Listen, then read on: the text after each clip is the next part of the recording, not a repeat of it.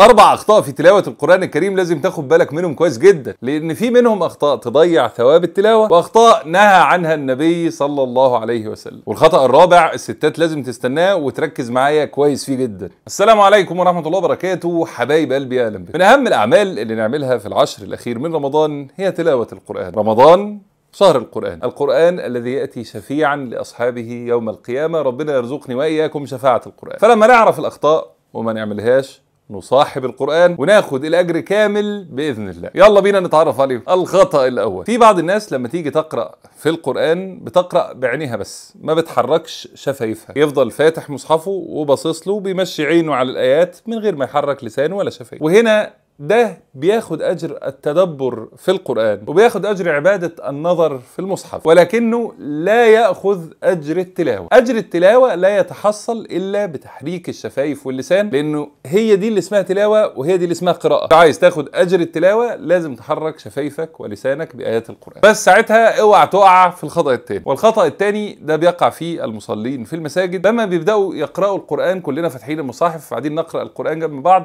فكله عمال يعلي صوته على التاني. وفي ناس في وسطنا مصلين سواء بقى بيصلوا يعني تحية مسجد بيكملوا صلاتهم بيصلوا سنة. فاحنا كمان بنشوش عليهم بتلاوتنا للقرآن والنبي صلى الله عليه وسلم نهى عن ذلك. قال صلى الله عليه وسلم ألا إن كلكم مناج ربه فلا يؤذين بعضكم بعضا ولا يرفعن بعضكم على بعض بالقراءة. فاحنا مش بنتسابق مين صوته أجمل ولا مين صوته أعلى ولكن إحنا بنتعبد لله والنبي صلى الله عليه وسلم نهانا إن إحنا نشوش على بعض. فلو في وسط مكان في ناس كتير خلي قراءتك قراءة سرية بصوت خفيض يا دوبك أنت تسمعه وتحرك زي ما اتفقنا لسانك وشفايفك مش مجرد عينيك عشان تحوز أجر التلاوة بإذن الله. بس خد بالك بقى إن أنت تركز في تلاوتك عشان ما تقعش في الخطأ الثالث النبي صلى الله عليه وسلم قال في الحديث فيخرج أقوام من أمتي يشربون القرآن كشربهم اللبن. يعني زي ما بتدلق اللبن في بقك كده من غير لا تقعد بقى تتمزمز وتستطعم كده. هو كده بتتعامل مع القرآن آه يلا بينا خلص. فاهم مش فاهم متدبر مش متدبر الموضوع مش فارق معايا والنبي صلى الله عليه وسلم نهى عن ذلك وده بيقلل الأجر. فالأصل يا إخواتي إن إحنا نركز في معاني الآيات والقصة اللي ورا الآية. مراد ربنا سبحانه وتعالى من هذه الآيات. كل ده مهم جدا ولازم نتدبر فيه. أما الخطأ الرابع اللي أنا قلت ان هو خاص بالستات وخلينا نقول إنه مش خطأ ولكن هو في خلاف ما بين العلماء في النقطة دي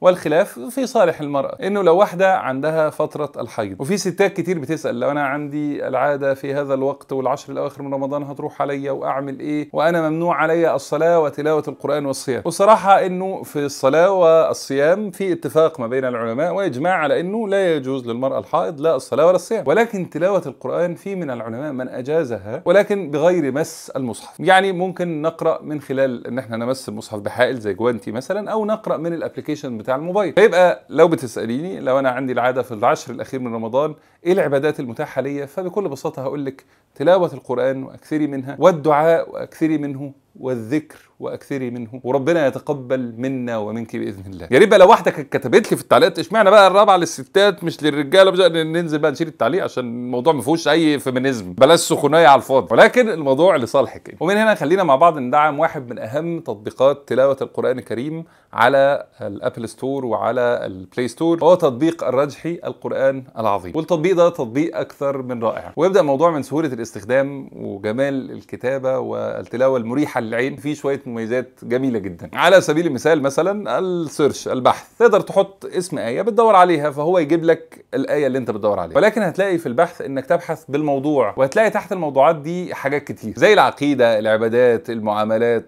قصص الأنبياء السيرة حاجات كتير يعني. والتقسيم بالمواضيع ده جميل جدا. بتعرف تجيب الآيات اللي بتتكلم عن الموضوع اللي أنت بتدور عليه. من الحاجات الجميلة جدا برضو في التطبيق هي الختمة. يعني أنت ممكن تختار تعمل ختمة مثلا في العشر الأواخر. فهو بيحدد لك عدد الأجزاء اللي المفروض تقرأها كل يوم. ومش بس كده هو كمان بيديك فرصة إن أنت تختار ميعاد يذكرك فيه بورد القرآن. يديك فيه تنبيه إن ده ميعاد الورد. وفي كمان إنك تتابع تطور الختمة أنت وصلت لفين وفاضل لك قد إيه. ومن الحاجات الجميلة جدا كمان إنك لو دوست على الآية دوسة مطولة بيطلع لك بار كده ممكن تختار منه إن أنت تكتب ملاحظات. بتحفظ وحابب تفكر نفسك إنه مثلا الآية دي ما كنتش أشطر حاجة فيها فأنا حابب إن أنا أعيدها مرة تانية. شعور معين استشعرته أثناء قراءة الآيات بتكتب ملاحظات على الآية اللي أنت عايزها. غير إنهم عاملين بطاقات شكلها جميل جدا وتصميمها حلو اسمها الفوائد القرآنية. أكتر من 500 واحدة بتصميمات مختلفة لمواقف عامة وحاجات بنمر بيها. فنقدر نشاركها مع بعض على مواقع التواصل الاجتماعي. فيبقى فيها شيء من تحفيز الناس على القراءة وتلاوة القرآن والتعلق بيه. ده غير إنك تقدر تسمع الآيات